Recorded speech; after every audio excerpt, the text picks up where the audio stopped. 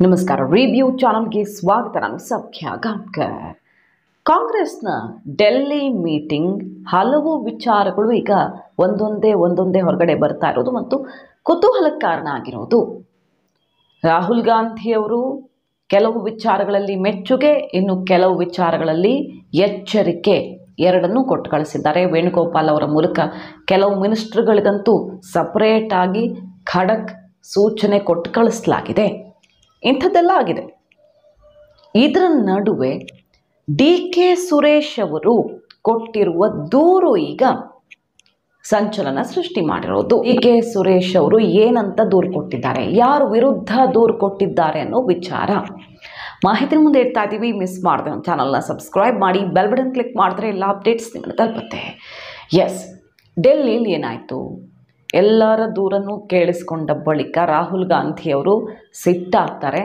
B J ಪಿಯನ್ನು forty percent commission ಅಂತ ತಾನೇ ಕಿತ್ತೆಸ್ತಿದ್ದು ಮತ್ತು ಅಂಥದ್ದೇ ಆರೋಪಗಳು ನಮ್ಮ ಸರ್ಕಾರದ ಮೇಲೆ ಬಂದರೆ ಜನ ಯಾಕೆ ನಂಬ್ತಾರೆ? ಝೀರೋಗೆ ತಂದು ನಿಲ್ಲಿಸಿ ಭ್ರಷ್ಟಾಚಾರ, ಮತ್ತೊಂದು ಆರೋಪಗಳ ಕೇಳಲೇಬಾರದು ಅಂತ ಎಚ್ಚರಿಕೆ ಕೊಟ್ಟಿದ್ದು ಒಂದು ಕಡೆ. ಹಾಗೆ ಮುಖ್ಯಮಂತ್ರಿಗಳಿಗೆ ನೇರ ನೇರ ಹೇಳ್ಬಿಡ್ತಾರೆ ಯಾವುದೇ ಮಿನಿಸ್ಟರ್ ಇಂಥ ವಿಚಾರದಲ್ಲಿ ಹೆಸರು ಕೆಡಿಸ್ಕೊಳ್ಳಿ. ತಾಲೇನೇ ಕೆಡಿಸ್ಕೊಳ್ಬೇಡಿ ಕಿತ್ತೆಸಿರಿ ಅವರನ್ನ ಅಂತ ಫ್ರೀ ಹ್ಯಾಂಡ್ ಕೊಟ್ಟಿರೋದು ಸಿದ್ದರಾಮಯ್ಯನವ್ರಿಗೆ. ಇದೆಲ್ಲ ಬೆಳವಣಿಗೆ ಬಗ್ಗೆ ನೀವು ಕೂಡ ನೋಡಿರ್ತೀರಿ ಮಾಹಿತಿಯನ್ನು. ಯಾರ್ಯಾರು ದೂರು ಕೊಟ್ಟರು ಯಾರ್ಯಾರಿಗೆ ಎಚ್ಚರಿಕೆ ಕೊಟ್ಟರು ಚಲುವರಾಯಸ್ವಾಮಿ ಮತ್ತು ರಹೀಂ ಖಾನ್ ಅವ್ರಿಗೆ ಪ್ರತ್ಯೇಕವಾಗಿ ವೇಣುಗೋಪಾಲ್ ಅವರು ಎಚ್ಚರಿಕೆ ಕೊಟ್ಟಿದ್ದಾರೆ ಅನ್ನೋ ವರದಿಗಳಾಗ್ತಿವೆ. ಚಲುವರಾಯಸ್ವಾಮಿ ಅವರಿಗೆ ಕುಮಾರಸ್ವಾಮಿ ಅವರು ಟಾರ್ಗೆಟ್ ಮಾಡಿದ್ದು. ಅದರಿಂದಾಗಿ ಒಂದಿಷ್ಟು ಮುಜುಗರ ಆಗಿತ್ತು ಸರ್ಕಾರಕ್ಕೆ. ಪೆನ್ ಡ್ರೈವ್ ತನಕ ಎಲ್ಲ ಕುಮಾರಸ್ವಾಮಿ ಅವರ ಅಬ್ಬರ ನೋಡಿದ್ದೀವಿ ನಾವು ಸೆಷನಲ್ಲಿ ಏನೇನಾಯಿತು ಅಂತ. ಸೊ ಯಾಕೆ ಇಷ್ಟರ ತನಕ ಹೋಯಿತು, ಏನು ಮಾಡ್ತಿದ್ರಿ ಅಲ್ಲಿ ತನಕ ಅನ್ನೋ ವಿಚಾರ.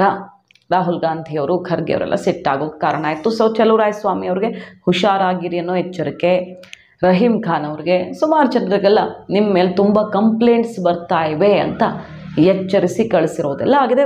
ಬಹುತೇಕರ ಮೇಲೆ ನೋಟಕ್ಕೆ ಕಾಣ್ತಿರೋದು ಸಿದ್ದರಾಮಯ್ಯ ಟೀಮ್ನ ಮಿನಿಸ್ಟರ್ಗಳು ಇದರ ನಡುವೆ ಡಿ ಕೆ ಸುರೇಶ್ ಅವರು ಏನಂತ ದೂರು ಕೊಟ್ಟಿದ್ದಾರೆ ಹಾಗಾದರೆ, ಮುಖ್ಯಮಂತ್ರಿ ಸಿದ್ದರಾಮಯ್ಯನವರು ಮತ್ತು ಮಂತ್ರಿಗಳು ಕೈಗೆ ಸಿಗ್ತಾ ಇಲ್ಲ ಅಂತ ಹೈಕಮಾಂಡ್ ಮುಂದೆ ದೂರಿಟ್ಟಿದ್ದಾರೆ.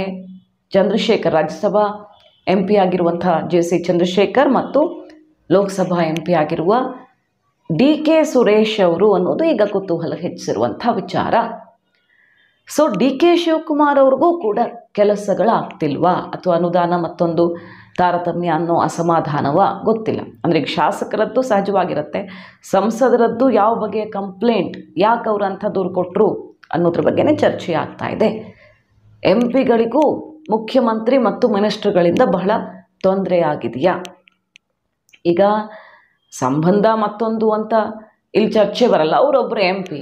D K Shivakumar ಅವರ ಸಹೋದರ, ಡಿ ಕೆ ಸುರೇಶ್ ಅವ್ರಿಗೆ ಕೆಲಸ ಆಗ್ತಿಲ್ವಾ? D C M, D K Shivakumar ಅವರು ದೊಡ್ಡ ದೊಡ್ಡ ಖಾತೆಗಳನ್ನು ನಿಭಾಯಿಸ್ತಿರೋರು ಡಿ ಕೆ ಶಿವಕುಮಾರ್ ಅವರು. ಸರ್ಕಾರದಲ್ಲಿ ಸಿ ಎಮ್ಗಿದ್ದಷ್ಟೇ ಪವರ್ ಡಿ ಕೆಗಿದೆ ಅನ್ನೋದೇ ಅಲ್ವಾ ಈಗೆಲ್ಲ ಕೇಳ್ತಾ ಇರೋದು? ಅಂಥದ್ರಲ್ಲಿ ಡಿ ಕೆ ಸುರೇಶ್ ಅವರು ಸಿದ್ದರಾಮಯ್ಯನವ್ರ ಕೈಗೆ ಸಿಗ್ತಿಲ್ಲ ಅಂದರೆ ಮುಖ್ಯಮಂತ್ರಿಗಳು ಸಿಗ್ತಾ ಇಲ್ಲ, ಸಚಿವರುಗಳು ಸಿಗ್ತಾ ಇಲ್ಲ ಅಂತ ದೂರಿಟ್ಟಿರೋದ್ರ ಹಿಂದಿನ ಸೀಕ್ರೆಟ್ ಏನು? ಅಂದರೆ ಡಿ ಕೆ ಸುರೇಶ್ ಅವ್ರಿಗೂ ಕೆಲಸ ಆಗ್ತಿಲ್ಲ ಅಂತನ? ಅಥವಾ ಡಿ ಕೆ ಶಿವಕುಮಾರ್ ಅವ್ರು ಮನಸ್ಸು ಮಾಡಿದ್ರೂ ಸಿದ್ದರಾಮಯ್ಯನವ್ರು ಓಕೆ ಮಾಡ್ತಿಲ್ಲ ಅಂತನ? ಗೊತ್ತಿಲ್ಲ. ಹಲವು ಬಗೆ ಗೊಂದಲಗಳಿಗೆ ಇದು ದಾರಿ ಮಾಡಿಕೊಡ್ತಾ ಇದೆ. Number one D K Shivakumar ಅವರು ಹೊರಡಿಸಿದ್ದ ಟಿಪ್ಪಣಿ ನನ್ನ ಇಲಾಖೆಯಲ್ಲಿ ನನಗೆ ಗೊತ್ತಿಲ್ಲದೆ ವರ್ಗಾವಣೆ ಮತ್ತೊಂದು ಎಲ್ಲ ಆಗ್ತಾ ಇದೆ. ನನ್ನ ಗಮನಕ್ಕೆ ತಗೊಂಡು ಬನ್ನಿ ಅಂತ ಹೊರಡಿಸಿದ ಟಿಪ್ಪಣಿ ಹೊರಗಡೆಗೆ ಬಂದು ಮುಜುಗರಕ್ಕೆ ಕಾರಣ ಆಯಿತು. ನಂಬರ್ ಟು ಅಭಿವೃದ್ಧಿಗೆ ವಿರುದ್ಧಿ ಮಾಡೋಕ್ಕಾಗಲ್ಲ ರೀ.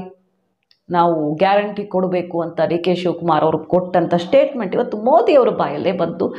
ಕರ್ನಾಟಕನೇ ಟಾರ್ಗೆಟ್ ಮಾಡಿ ಡೈರೆಕ್ಟ್ ಹಿಟ್ ಕೊಟ್ಟರು ಆದರೆ ಸಿದ್ದರಾಮಯ್ಯನವರು ಹೇಳಿದ್ದೇನು, ನಾವು ಅಭಿವೃದ್ಧಿನೂ ಮಾಡ್ತಾ ಇದ್ದೀವಿ, ಗ್ಯಾರಂಟಿಗೂ ಕೊಡ್ತಾ ಇದ್ದೀವಿ. ನಿಮ್ಮ ಅವಧಿಯಲ್ಲಿ ಸುಮ್ಮನೆ ಸುಖ ಸುಮ್ಮನೆ ಮಾಡಿಟ್ಟಷ್ಟು ಸಾಲ ಅಂತೂ ನಾವು ಮಾಡಲ್ಲ ಬಿಡಿ ಅಂತ ಏಟು ಕೊಡ್ತಿದ್ದಾರೆ. ಈಗ ನೋಡಿದ್ರೆ ಡೆಲ್ಲಿ ಮೀಟಿಂಗಲ್ಲಿ ಡಿ ಕೆ ಸುರೇಶ್ ಅವರು, ಸಿದ್ದರಾಮಯ್ಯನವರು ಮಂತ್ರಿಗಳು ಕೈಗೆ ಸಿಗ್ತಿಲ್ಲ ಅಂತ ದೂರಿಟ್ಟಿದ್ದಾರೆ ಅನ್ನೋ ವರದಿಗಳು ಬರ್ತಾ ಇವೆ. ಇದರ ಸತ್ಯಾಸತ್ಯತೆ ಏನು ಅನ್ನೋದೇ ಕುತೂಹಲ ಕಾರಣ ಆಗಿರೋದು. ಈಗ ಶಾಸಕರೇನೋ ಅನುದಾನ, ಮತ್ತೊಂದು ಅಂತ ಸುಮಾರು ಜನ ವರ್ಗಾವಣೆಗೆ ಅಸಮಾಧಾನ ಪಟ್ಕೊಂಡಿರೋದು. ನಮಗೇನು ಸಿಗ್ತಾ ಇಲ್ಲ, ಜನರನ್ನು ಹೇಗೆ ಕನ್ವಿನ್ಸ್ ಮಾಡೋದು ಅನ್ನೋ ಬೇಜಾರು ಅನ್ನೋದೆಲ್ಲ ಚರ್ಚೆ ಆಯಿತು ಅದಕ್ಕೆ ಸಂಬಂಧಪಟ್ಟಂತೆ ಹೈಕಮಾಂಡ್ ಮದ್ದು ಅರ್ಧ ಕಳಿಸಿದೆ. ಸ್ವಲ್ಪ ವರ್ಗಾವಣೆ ವಿಚಾರದಲ್ಲೆಲ್ಲ ಚೇಂಜಸ್ ಆದವು ಇಲ್ಲಿ. ಅಲ್ಲಿ ಮೀಟಿಂಗ್ ಆಗ್ತಾ ಇದ್ದ ಹಾಗೆ ಹೋಲ್ಡ್ ಆಗಿದ್ದು, ಏನೇನೋ ಒಂದಷ್ಟು ಬದಲಾವಣೆ ಮಾಡೋ ಪ್ರಯತ್ನ ಆದಂಗೆ ಕಾಣಿಸ್ತಾ ಇದೆ.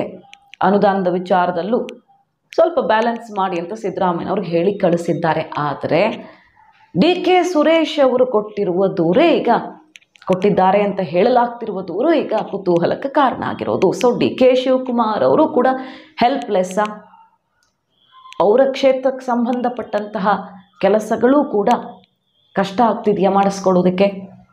ಮಿನಿಸ್ಟ್ರುಗಳು ಸಿಗ್ತಿಲ್ವಾ? ಡಿ ಕೆ ಶಿವಕುಮಾರ್ ಅವ್ರಿಗೆ ಕಷ್ಟ ಆಗ್ತಿದೆಯಾ ಮಿನಿಸ್ಟ್ರುಗಳನ್ನು ಸಂಪರ್ಕಿಸೋದು? ಅಥವಾ ಡಿ ಕೆ ಸುರೇಶ್ ಅವ್ರಿಗೆ ಮಾತ್ರ ಕಷ್ಟ ಆಗ್ತಿದೆಯಾ? ಈ ಥರದ್ದೆಲ್ಲ ಸಹಜ ಪ್ರಶ್ನೆಗಳು ಹೇಳೋ ಥರ ಆಗಿದೆ. ಒಂದು ಕಡೆ ಸಮನ್ವಯ ಸಮಿತಿ ಬೇಡ ಅನ್ನೋದನ್ನು ಕನ್ವಿನ್ಸ್ ಮಾಡುವಲ್ಲಿ ಸಿದ್ದರಾಮಯ್ಯ ಟೀಮ್ ಯಶಸ್ವಿಯಾಗಿದೆ. ಈಗ ಇದೆಲ್ಲ ಅಸಮಾಧಾನಗಳ ಕಾರಣದಿಂದಾಗಿ ಅಲ್ವಾ ಸಮನ್ವಯ ಸಮಿತಿ ವಿಚಾರ ಮುನ್ನೆಲೆಗೆ ಬಂದಿದ್ದು?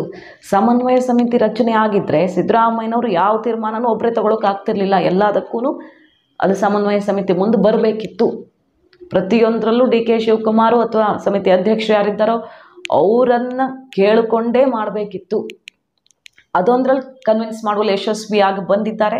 ಹಾಗೆ ಗ್ಯಾರಂಟಿ ಜಾರಿ ಮಾಡಿರೋದು ಅಚ್ಚುಕಟ್ಟಾಗಿ ಮಾಡಿರೋದ್ರ ಬಗ್ಗೆ ಮೆಚ್ಚುಗೆ ವ್ಯಕ್ತವಾಗಿದೆ. ಉಳಿದಂತೆ ಕೆಲವು ಬೆಳವಣಿಗೆಗಳು ಮಾತ್ರ ಈಗ ಕೈಪಾಳ್ಯದಲ್ಲಿ ಸಂಚಲನ ಸೃಷ್ಟಿ ಮಾಡಿರೋದು ಏನಾಗ್ತಿದೆ ಅನ್ನೋದ್ರ ಬಗ್ಗೆ.